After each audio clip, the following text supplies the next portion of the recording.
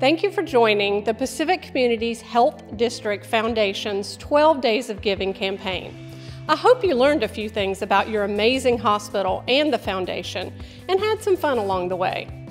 If it were not for the pandemic, many of us would be together, celebrating the season and supporting the creation of a new facility for the walk-in and occupational medicine clinics. While the pandemic has made it impossible for us to be together, we can still support the things we care about.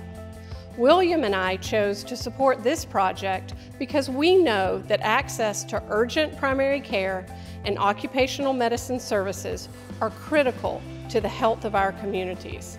I do hope you will join us with your support. Have a wonderful holiday season, and until next year, thank you for all you do to help us build healthier communities together.